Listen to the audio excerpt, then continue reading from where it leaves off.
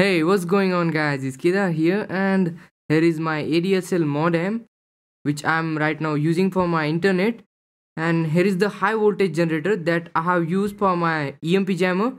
So let's see how is the how much the power this thing can output. So I'm going to damage this modem now and let's see what will happen.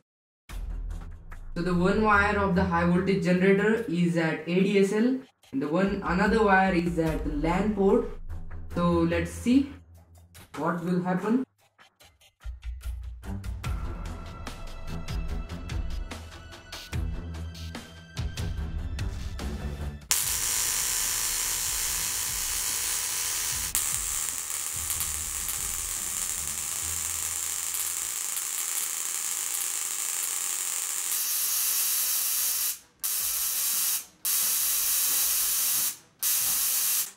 Oh, that was pretty loud noise. So let's see uh, whether this model will work or not.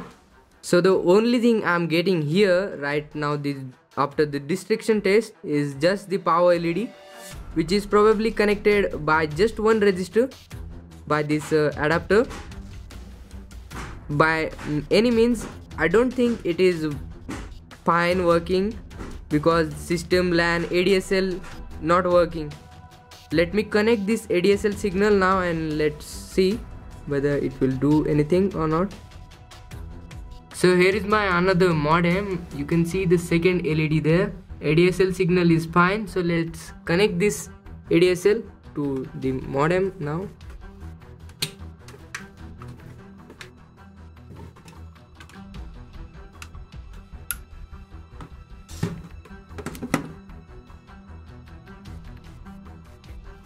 we are getting nothing.